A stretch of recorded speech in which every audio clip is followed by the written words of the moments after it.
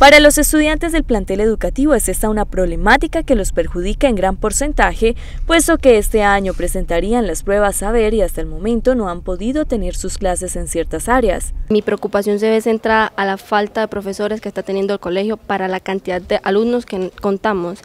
Eh, como ya pueden saber, el colegio cuenta con estudiantes de veredas vecinas y de acá de Ocaña, a quienes sus padres les están pagando una mensualidad a los buses para que los lleven a sus respectivas clases y pues nos parece injusto que algunos solamente vean dos o tres clases al día eh, para tanta plata que tienen que pagar ellos.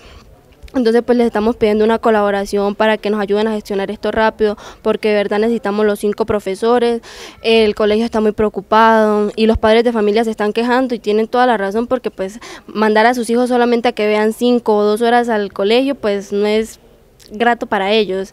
Entonces necesitamos que nos ayuden a gestionar esto rápido. Necesitamos de inglés, ética, eh, matemáticas. En primaria necesitamos y también necesitamos para la técnica. Ante esta necesidad de los cinco docentes, los estudiantes buscan lograr la atención de la Secretaría de Educación Departamental.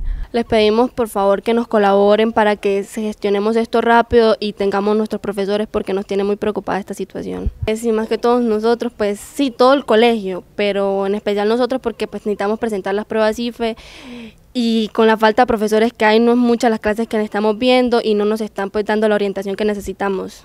Por lo tanto, los estudiantes esperan contar con una pronta atención de las autoridades encargadas para así tener la designación de los docentes para el libre desarrollo de las clases en el plantel educativo.